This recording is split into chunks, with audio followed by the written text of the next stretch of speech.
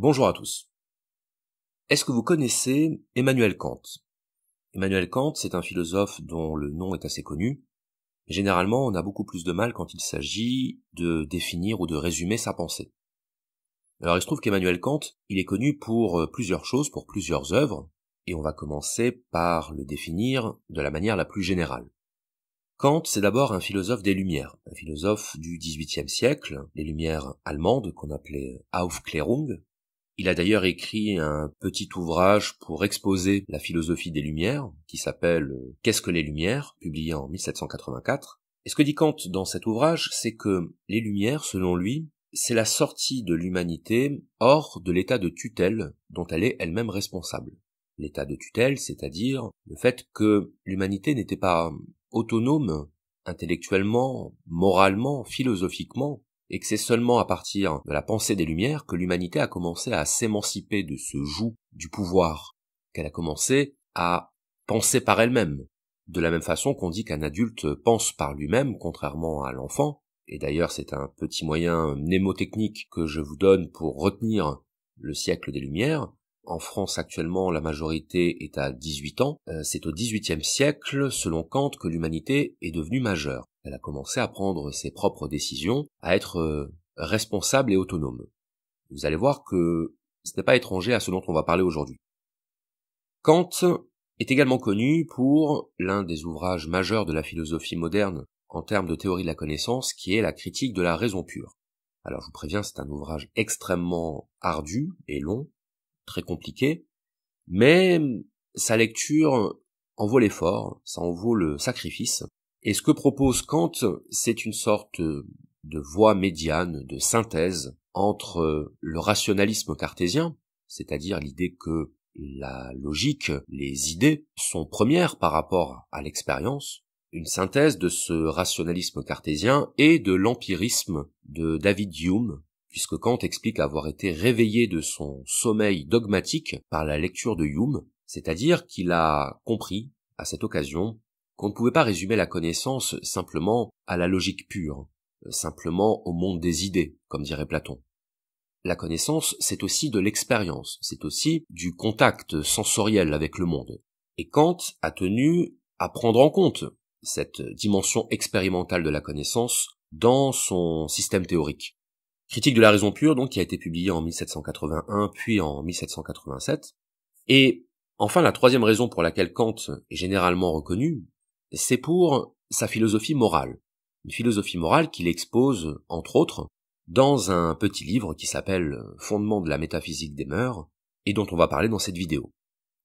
Alors, avant d'aller dans le cœur de la pensée euh, kantienne, on va déjà dire quelques mots sur l'homme. Alors Kant, pour ceux qui ont vu ma vidéo sur euh, le pouvoir de l'habitude, vous savez que c'était un homme qui avait un mode de vie extrêmement régulier, extrêmement euh, millimétré très monotone. C'est quelqu'un qui n'aimait pas visiblement l'imprévu, qui aimait que sa vie soit parfaitement réglée, et c'est un personnage qu'on pourrait, sans prendre de risques, qualifier d'austère. C'était quelqu'un qui attachait énormément d'importance à la règle, au principe, et vous allez voir que sa philosophie morale est, imprégnée de ce trait de caractère. Autre détail euh, important, c'est que Kant était un philosophe croyant, protestant, mais que ses croyances religieuses n'interviennent pour ainsi dire pas dans son système de pensée, y compris même dans son système de pensée morale. Si vous préférez, euh, Kant n'est pas un auteur qui va convoquer Dieu pour justifier ses conceptions morales. Kant va au contraire asseoir sa morale, sa conception de la morale, sur des concepts philosophiques qui n'empruntent rien à la religion, mais qui au contraire empruntent tout à la raison, c'est-à-dire à ce qui fait selon lui le propre de l'homme. Donc on va aller voir un petit peu ce qui se cache derrière les fondements de la métaphysique des mœurs, on va essayer de comprendre comment se construit euh, la morale kantienne, et on va voir jusqu'à quel point cette vision peut être considérée comme euh, intéressante, valable et pertinente. Alors, si on devait résumer les fondements de la métaphysique des mœurs de Kant, on pourrait dire que c'est l'exposition détaillée de ce que Kant appelle un impératif catégorique. Alors qu'est-ce qu'un impératif catégorique? C'est le principe moral qui doit nous guider dans notre comportement. C'est la norme de conduite que l'être humain doit adopter. Alors, avant d'aller plus loin, il faut déjà faire un petit rappel sur ce qu'est la morale en elle-même. Qu'est-ce que la morale? La morale, c'est un système de normes. C'est un ensemble de règles que l'on se prescrit, ou que l'on prescrit aux autres, et qui est censé nous guider vers le bien. Derrière toute morale, il y a une conception du bien, et il y a une distinction entre le principe du bien et le principe du mal. Donc la morale ne peut pas être envisagée en dehors de cette distinction entre le bien et le mal. Si vous préférez, enlever les mots bien et mal du vocabulaire philosophique, la morale n'existe plus. Donc la morale, c'est d'abord ça. C'est d'abord le principe selon lequel nous devrions tendre vers le bien et nous éloigner du mal. Mais vous voyez immédiatement le problème que ça pose. C'est que le bien et le mal peuvent être considérés comme des notions très subjectives. En réalité, personne n'est absolument d'accord euh, sur ce qu'on appelle le bien, sur ce qu'on appelle le mal, et la plupart des conflits, des désaccords ou des malentendus sur la question morale proviennent justement de cette différence de définition du bien et du mal. Alors, pour bien comprendre cette morale kantienne, on pourrait déjà euh, commencer par dire à quoi elle s'oppose. La morale kantienne s'oppose à ce qu'on appelle l'utilitarisme, sur lequel j'ai fait une vidéo récemment. Et l'utilitarisme, c'est l'idée que nos actions ne doivent être euh, évaluées, c'est-à-dire on ne doit leur prêter de valeur qu'à la lumière de leurs conséquences. On analyse les conséquences de notre action en termes de plaisir et de douleur. Et si une action produit plus de plaisir global que de douleur globale, à ce moment-là, cette euh, action sera considérée comme moralement bonne. Ça, c'est le principe de l'utilitarisme, le plus grand bonheur du plus grand nombre, le calcul hédoniste, qui fait qu'on va juger la valeur morale d'une action à l'aune de ses conséquences en termes de plaisir et de souffrance. Or, pour Kant, cette vision-là est totalement absurde. Kant est aux antipodes de la conception utilitariste, il est même le représentant du mouvement opposé, mouvement opposé qu'on appelle généralement le déontologisme, parce que le déontologisme va s'intéresser aux principes qui sont à l'origine d'une action, aux principes c'est-à-dire à la loi, à la loi générale qui nous commande d'agir de telle ou telle manière dans un cas particulier. Donc la morale kantienne, c'est une morale du principe, et c'est même une morale de l'intention. Et c'est là qu'on va commencer à comprendre la, spécificité de la morale kantienne, c'est qu'une action est jugée bonne si elle est guidée par une bonne volonté. La bonne volonté, c'est la bonne intention, c'est l'intention qui correspond à l'idée du bien, ce qui veut dire que pour Kant, une action n'est pas bonne simplement parce qu'elle correspond à ce que prescrit la loi morale, elle est bonne parce qu'elle est animée par la volonté d'être dans le bien.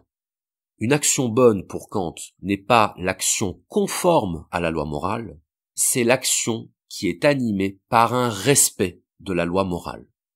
Donc ça, c'est le premier aspect de la morale kantienne qu'il faut vraiment garder à l'esprit. Et pour l'illustrer, je vais prendre un, exemple très simple. On va prendre l'exemple du braqueur de banque qui hésite avant de commettre son braquage. Alors pourquoi est-ce qu'il hésite? Il hésite pour une raison très simple. C'est qu'il a peur de se faire attraper. Il a peur de se faire arrêter par les flics et de finir en tôle. Donc qu'est-ce qu'il fait? Eh bien, il délibère intérieurement. Il se questionne, il réfléchit, il se demande euh, si tout bien considéré, il ne prend pas euh, un risque trop important. Qu'est-ce qui va nourrir son hésitation? Ce n'est pas un appel du bien, ce n'est pas un appel de sa bonne conscience, c'est tout simplement la prise en compte du risque, le risque de se retrouver en prison. Donc euh, on peut dire que si le braqueur de banque décide de renoncer à son geste par peur de la prison, par exemple, on pourrait dire que il agit moralement. Eh bien pour Kant, non. Pour Kant, ce braqueur de banque qui renonce à commettre son acte par peur des conséquences, il n'est pas dans le bien. Il est dans la conformité au bien. C'est-à-dire qu'il agit comme si il était quelqu'un de moral, mais en réalité ce n'est pas parce qu'il est moral qu'il renonce à son geste. Et ça, c'est quelque chose que Kant dénonce très vivement. La conformité à la loi morale qui n'est pas guidée, qui n'est pas motivée par une bonne volonté, qui n'est pas motivée par une volonté d'être dans le bien. Donc on pourrait dire, si on voulait vraiment schématiser, que Kant s'inscrit contre la morale de l'hypocrisie. La morale de l'hypocrisie qui consiste à lutter avec ses désirs, à lutter avec ce que l'on veut faire, parce qu'on a conscience que c'est mal, parce qu'on a conscience que c'est contraire à la loi morale, mais finalement, cette conscience d'être dans le mal ne rend pas notre intention bonne. Donc Kant s'oppose totalement à ce schéma. Ce qui d'ailleurs rend sa conception morale un petit peu discutable, parce que comment jauger l'intention de quelqu'un qui effectue une action? Comment savoir que son action est guidée davantage par une bonne intention que par une sorte de calcul, une sorte de recherche d'intérêt qui fait qu'on va faire le choix de la morale, mais presque de manière accidentelle, de manière opportuniste même, tout simplement parce qu'on y trouve un intérêt. C'est l'idée que lorsque je donne une pièce à un mendiant, je ne le fais pas parce que je suis animé de l'intention de l'aider, je le fais pour satisfaire ma bonne conscience. C'est un petit peu ça l'idée, qu'on peut retrouver dans certaines religions d'ailleurs, mais que Kant récuse totalement. La morale kantienne est une morale de l'intention, c'est une morale qui repose sur la bonne volonté, qui repose sur la pureté de l'intention. Alors, est-ce que cet aspect suffit à résumer la philosophie morale kantienne? Est-ce qu'on peut réduire la morale de Kant à une morale de l'intention? Eh bien non, parce que l'intention doit être euh, accouplée à une autre notion qu'on trouve chez Kant, qui est justement la notion de loi morale. La loi morale pour Kant, c'est véritablement ce qui doit guider l'ensemble de nos actions, et la loi morale, selon Kant, n'est pas quelque chose qui se trouve en dehors de l'homme. C'est-à-dire que dans la plupart des conceptions morales, on considère qu'il y a un bien qui est transcendant à l'homme, un bien qui est au-dessus. C'est l'idée qu'on trouve là encore dans les religions, que nous devons suivre la volonté de Dieu. Or chez Kant, on n'a pas du tout cette idée-là. Chez Kant, la loi morale n'est pas imposée par une sorte d'autorité extérieure, toute puissante et euh, omnisciente, la loi morale nous est imposée par nous-mêmes. Qu'est-ce que ça veut dire que la loi morale nous est imposée par nous-mêmes? Ça veut dire que pour Kant, la loi morale, elle est présente de manière innée en tout homme. C'est ce qu'il appelle la raison morale, et c'est selon lui ce qui fait réellement la différence entre l'humanité et le reste des êtres vivants. L'être humain possède une raison morale, ce qu'on a l'habitude d'appeler une conscience morale, qui est pour ainsi dire l'instance intérieure de l'autorité morale. L'instance intérieure de l'autorité morale, c'est l'idée que nous avons tous en nous le principe du bien, nous avons tous en nous la loi morale à laquelle nous devons obéir. Alors là, évidemment, beaucoup d'objections euh, ont été faites euh, à Kant, notamment l'idée que les valeurs morales, ou les principes moraux, sont d'abord des acquis de la culture et de l'éducation. Et la meilleure preuve en est que, selon les cultures, on ne considérera pas les mêmes choses comme étant bonnes ou mauvaises, d'un point de vue moral. On a ce qu'on appelle des singularités morales, donc c'est l'idée que la morale ne serait pas quelque chose d'universel, ce serait quelque chose de culturellement et d'historiquement déterminé.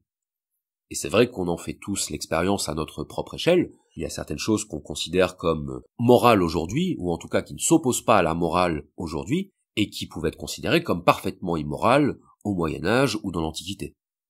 Donc les conceptions morales évoluent, elles évoluent dans le temps, elles évoluent dans l'espace, comme dirait Pascal, vérité en deçà des Pyrénées, erreur au-delà, ça signifie que selon le modèle culturel dans lequel on va évoluer, nous n'aurons pas forcément les mêmes conceptions morales. La question, c'est de savoir est-ce que cela met en échec la conception kantienne de la morale? Eh bien non, parce qu'en réalité, c'est ce qu'on appelle une morale formelle, c'est-à-dire un cadre moral, une structure morale qui peut se retrouver de manière universelle, indépendamment du contenu qu'on va donner à la loi morale. Ce que veut dire Kant, c'est que tous les hommes possèdent une morale, tous les hommes possèdent une loi morale, mais qu'ils ont différentes manières de la mettre en pratique. C'est comme si je vous disais que la notion d'éducation existe partout, et pourtant, ça ne veut pas dire que toutes les éducations sont identiques. Le fait que l'éducation soit un concept universel ne signifie pas que le contenu de l'éducation soit le même partout. Donc la loi morale, selon Kant, elle se caractérise par son universalité et également par son caractère inné. Et les fondements de la métaphysique des mœurs, c'est l'occasion que Kant a trouvé pour formuler précisément ce que, selon lui, la loi morale nous dit quand nous sommes confrontés à un choix moral. Donc c'est comme si Kant avait cherché à faire parler notre conscience morale, faire parler notre raison morale, pour lui faire dire ce qu'elle nous dit de manière indicible, de manière parfois purement intuitive. Et d'ailleurs, c'est ça le but de la démarche de Kant, c'est de rendre consciente et explicite la loi morale qui s'exprime en nous de manière parfois inconsciente et intuitive. Et c'est là qu'on en arrive à une première formulation de la loi morale kantienne, plus exactement de l'impératif catégorique qui est issu de cette loi morale. Voilà ce que nous dit la première formulation de l'impératif catégorique. Agis uniquement d'après la maxime qui fait que tu puisses vouloir en même temps qu'elle devienne une loi universelle. Alors, cette citation est assez connue, elle mérite qu'on s'y arrête un petit peu, qu'on la reformule et qu'on la décortique. La première chose, c'est que cette formulation confirme ce qu'on disait il y a quelques instants sur le fait que la morale kantienne est une morale formelle. C'est d'ailleurs pour ça que certains commentateurs récusent l'expression même de morale kantienne parce qu'en réalité, Kant ne nous propose pas une morale, il nous propose une structure morale, il nous propose un cadre moral. Et le cadre moral de Kant, c'est de dire que on reconnaît la moralité d'une action au fait que l'on pourrait vouloir que ce qui la guide soit partagé par tout le monde. On va le dire de manière encore un peu plus simple. Lorsque vous vous apprêtez à effectuer une action et que vous vous posez la question de savoir si elle est morale ou pas, posez-vous la question, est-ce que ce par quoi je suis guidé actuellement, je voudrais que cela guide également toute l'humanité? Est-ce que je voudrais que toute l'humanité soit guidée par le même principe d'action qui est en train de me guider actuellement? C'est ça le test de vérification de la morale chez Kant. C'est le fait de passer cette épreuve de l'universalisation du principe de mon action. Le principe de mon action, c'est de dire quelle est la loi qui me parle au moment où je choisis de lui obéir? Quelle est la loi qui me dit que ce que je m'apprête à faire est bien ou mal? Eh bien cette loi, si je peux vouloir qu'elle guide l'humanité, à ce moment-là, cela signifie que mon action est morale. Alors, faisons attention ici au contresens habituel, qui consiste à réduire cette proposition de Kant au fameux adage ne fais pas à l'autre ce que tu ne voudrais pas qu'il te fasse. Parce que ne fais pas à l'autre ce que tu ne voudrais pas qu'il te fasse, c'est du conséquentialisme. C'est l'idée que parce que je ne voudrais pas subir telle ou telle chose, parce que euh, ça produirait en moi de la souffrance ou du déplaisir, peu importe, pour cette raison-là, je ne voudrais pas, moi non plus, l'appliquer à l'autre. Mais ça, c'est une morale des conséquences. C'est une morale de la prudence qui fait que je ne vais pas me mettre en situation de risque. C'est exactement la même logique que ce qu'on disait tout à l'heure sur celui qui agit conformément à la loi morale et non pas par respect de la loi morale. Donc ne fais pas autrui ce que tu ne voudrais pas qu'il te fasse, ce n'est pas la morale kantienne. Donc là, quand il nous laisse un peu sur notre faim, parce que cette formulation de l'impératif catégorique, bien concrètement, elle ne nous dit pas ce que l'on doit faire. Elle ne nous dit pas quelle action est bonne, quelle action est mauvaise. Elle ne nous dit pas quelles sont les valeurs que l'on doit incarner dans nos actions. Là, pour l'instant, tout ce que nous dit Kant, c'est que si on est OK pour que tout le monde partage nos conceptions, ça veut dire que notre conception est morale. C'est peut-être un petit peu léger. Donc, on va accorder à Kant le crédit de ses intentions et on va aller voir immédiatement la deuxième formulation de l'impératif catégorique. La deuxième formulation de l'impératif catégorique, elle est, j'oserais dire, un peu plus intéressante, parce qu'elle commence à nous donner une idée du contenu que l'on doit donner à notre action pour qu'elle soit considérée comme une action morale. Donc je vais maintenant vous lire la deuxième formulation de l'impératif catégorique chez Kant. Agis de telle façon que tu traites l'humanité aussi bien dans ta personne que dans tout autre, toujours en même temps comme fin et jamais simplement comme moyen. Et là, on a enfin une formulation du contenu de l'action morale selon Kant. L'action morale, c'est celle qui est guidée par la notion de dignité. Qu'est-ce que c'est que la dignité? C'est la valeur particulière qu'a l'être humain. Et qu'est-ce qui confère cette valeur particulière à l'être humain? C'est le fait qu'il soit doté d'une raison morale. J'ai eu l'occasion d'en parler dans mon débat avec Athlététique sur le véganisme. Ce qui structure la notion de dignité humaine, c'est le fait que les êtres humains soient porteurs d'une raison morale qui fait qu'ils se posent la question de la bonté ou pas de leurs actes.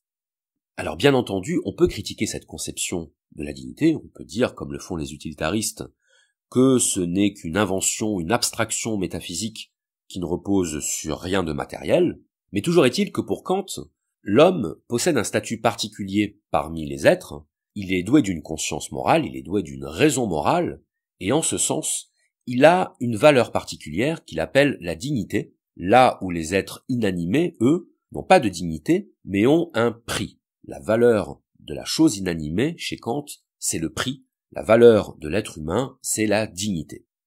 Et donc l'idée de Kant, c'est de dire que parce que l'être humain possède une dignité, il ne peut pas être traité comme une chose, il ne peut pas être traité comme un être inanimé qui n'a qu'un prix mais qui n'a pas de dignité. Donc Kant opère une séparation radicale entre l'être humain qui possède une dignité, entre les choses qui possèdent un prix, et c'est ça qui conditionne intégralement son impératif catégorique. L'impératif catégorique qui nous dit qu'une action est moralement bonne quand, dans notre manière de traiter l'humanité, nous ne voyons pas en l'autre un moyen pour satisfaire notre intérêt, nous y voyons un être humain à part entière, un être humain qui n'appartient qu'à lui, un être humain sur lequel je n'ai pas de droit d'appropriation. Et le fait que je n'ai pas de droit d'appropriation de l'autre, c'est ce qui m'interdit de considérer l'autre comme un objet, c'est ce qui m'interdit de le considérer comme un moyen, c'est ce qui m'interdit de me servir de lui à son détriment pour parvenir à mes fins. Donc vous voyez que là, on a quand même un pas supplémentaire qui est franchi par rapport à la première formulation de l'impératif catégorique, c'est-à-dire qu'on a l'idée d'une dignité humaine qui doit structurer l'ensemble de nos comportements. Et vous remarquerez quelque chose de très intéressant, c'est que Kant applique ce traitement de l'humanité non seulement aux autres, mais aussi à soi-même. Ça veut dire que pour Kant, on se comporte de manière immorale lorsque l'on ne se traite pas soi-même comme une fin en soi, c'est-à-dire lorsqu'on ne respecte pas sa propre dignité. Et qu'est-ce que c'est notre dignité? Eh bien, c'est précisément le fait qu'on ne se considère pas comme une chose, on ne se considère pas comme un objet, on se considère comme ayant une valeur supplémentaire, on se considère comme ayant une signification supplémentaire. Et cette signification, c'est précisément le fait que nous soyons capables de distinguer entre le bien et le mal, cette capacité que nous avons à obéir non pas à une autorité extérieure qui s'impose à nous, mais à une partie de nous-mêmes qui est universellement partagée. Le fait de se comporter moralement, selon Kant, c'est la démonstration de notre appartenance à l'humanité. Et le fait d'agir de manière immorale, c'est le fait de s'exclure soi-même du cercle de l'humanité. Donc vous voyez que la morale kantienne, ce n'est pas une morale qui nous permet de faire des compromis avec notre conscience, on ne joue pas avec la morale, on ne plaisante pas avec la morale, et c'est ce qui a fait dire à certains que la morale de Kant était trop désincarnée pour avoir une réelle pertinence dans la vie réelle. Je crois que c'est euh, Charles Péguy qui disait la morale kantienne a les mains pures, mais elle n'a pas de mains n'a pas de main, c'est-à-dire elle n'est pas confrontée à la réalité dans tout ce que la réalité peut avoir parfois de plus compliqué, de plus contradictoire. La réalité qui est faite de dilemmes permanents et où euh, la direction du bien ne nous apparaît pas forcément immédiatement. Je me souviens que lorsque j'ai étudié la morale de Kant en fac de philosophie, notre professeur s'amusait à imaginer des situations pratiques euh, dans lesquelles on essaierait d'appliquer la morale kantienne et on se rendait compte que c'était extrêmement compliqué parce que parfois certaines situations nous tiraillent entre deux exigences, entre deux impératifs moraux qui ont autant de valeur l'un que l'autre, mais qui ne sont pas compatibles. Un exemple qu'on peut prendre, c'est celui du mourant qui est maintenu en vie artificiellement et qui nous confronte à la question est-ce qu'il vaut mieux le maintenir en vie quoi qu'il en coûte ou est-ce qu'il vaut mieux ne pas le faire souffrir davantage? Parce que dans ces deux cas-là, la notion de dignité humaine est impliquée. Qu'est-ce qui fait la valeur de la vie humaine? C'est la dignité humaine. Et est-ce que la dignité humaine est encore respectée lorsque l'on fait souffrir inutilement quelqu'un? Donc finalement, dans cette situation euh, du patient qui souffre et dont on veut protéger la vie, est-ce qu'on n'est pas en train de contredire le principe de dignité humaine en voulant le défendre? Est-ce qu'on n'est pas en train de faire le mal en voulant faire le bien Donc ça, c'est le genre d'exemple qu'on pourrait euh, objecter à Kant, qui aurait sans doute une réponse, mais je ne me permettrai pas de faire la réponse à sa place. Mais le fait est que la morale de Kant a donné lieu à de nombreuses critiques qui portent principalement sur cette dimension, la pureté de l'intention qui ne semble pas coïncider avec euh, la réalité quotidienne du questionnement moral. Une autre chose qui a été reprochée à la morale de Kant, qui d'ailleurs euh, s'inscrit dans le prolongement de ce qu'on vient de dire, c'est qu'elle nous porte parfois à agir euh, sans porter d'attention aux conséquences de nos actes. La morale kantienne étant une morale de l'intention, une morale du principe, ça signifie qu'on ne doit pas se poser la question des conséquences de nos actes, puisque les conséquences ne constituent en aucun cas un critère d'évaluation morale. Donc par exemple, c'est ce qui fait dire à Kant que le mensonge doit être banni quelle que soit la situation, quelles que soient les circonstances. Le mensonge est condamnable quelle que soit la situation, quel que soit le contexte. Alors pourquoi est-ce que le mensonge est condamnable? Déjà Eh bien justement parce qu'il considère à traiter l'autre comme un moyen, le moyen de notre supercherie, le moyen de notre ruse, le moyen de notre malhonnêteté, et donc en mentant à quelqu'un, on ne le considère pas comme un être humain doté d'une dignité, on le considère simplement comme un objet que l'on peut manipuler. Donc le mensonge est interdit, il est interdit en toutes circonstances. Donc ça veut dire que si un criminel poursuit sa victime et qu'il vous demande quel chemin elle a pris, eh bien, vous avez le devoir, selon Kant, de lui dire la vérité. Vous avez le devoir de lui indiquer la direction qu'a prise la victime, parce que si vous ne le faites pas, vous traitez l'autre comme un moyen, et dans ce cas-là, vous allez à l'encontre de la loi morale. Donc vous imaginez évidemment le genre de déconvenu auquel peut mener le respect intégral de l'impératif catégorique de Kant. Donc vous voyez qu'on est quand même toujours dans l'idée d'une forme de déconnexion avec la réalité, une sorte une sorte d'idéalisme moral que beaucoup de philosophes ultérieurs ont considéré comme n'étant tout simplement pas réaliste. Et d'ailleurs, et nous pourrons euh, conclure la vidéo là-dessus, ce n'est pas un hasard si, au fil du temps, le terme de morale a fini par prendre une connotation passablement négative. Lorsque l'on entend le mot morale, on pense tout de suite à des règles contraignantes, on pense à la rigidité, on pense à la moraline, ce que certains ont appelé la moraline, pour parler justement euh, du côté euh, donneur de leçons, du côté moralisateur euh, qu'on peut trouver dans la philosophie de Kant et qu'on peut trouver d'une manière générale dans certaines de nos considérations morales. Il y a cette idée de juger l'acte de l'autre à la lumière d'un principe abstrait, à la lumière d'une règle que l'on estime universelle, et dont nous sommes parfois très prompts à constater qu'elle a été enfreinte par l'autre, mais rarement par soi. Et pour justement marquer la distinction avec cette connotation du terme moral, on a vu se développer l'usage du mot éthique pour remplacer le terme de morale. Alors l'éthique, ça semble faire référence à quelque chose de plus souple, euh, voire à quelque chose de plus personnel que la morale. Avoir une éthique, c'est avoir des principes d'action, mais des principes d'action qui ne sont pas forcément sous-tendus par le bien et le mal comme absolu.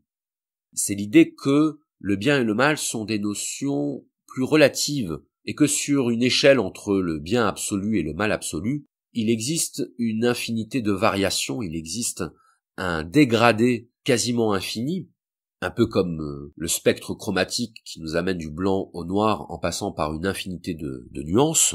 Et finalement, je ne trouverais pas absurde que la morale kantienne puisse se trouver confrontée à elle-même, parce que c'est justement toute l'ambition de la philosophie de Kant que de nous appeler à l'autonomie, que de nous appeler à l'indépendance, que de nous appeler à la responsabilité individuelle.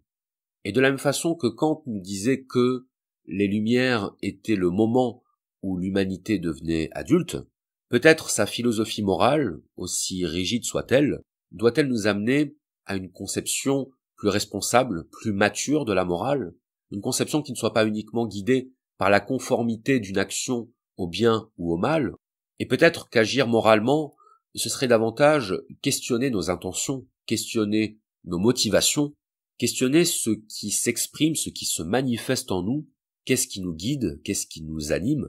Qu'est-ce qui mobilise notre âme? C'est peut-être ça la question la plus importante, plutôt que de savoir si ce que l'on s'apprête à faire est conforme ou pas à la représentation culturelle du bien et du mal. Évidemment, je laisserai chacun d'entre vous répondre pour lui-même. J'espère que cette vidéo vous aura plu et intéressé. N'oubliez pas de la partager, n'oubliez pas de la liker et de la commenter.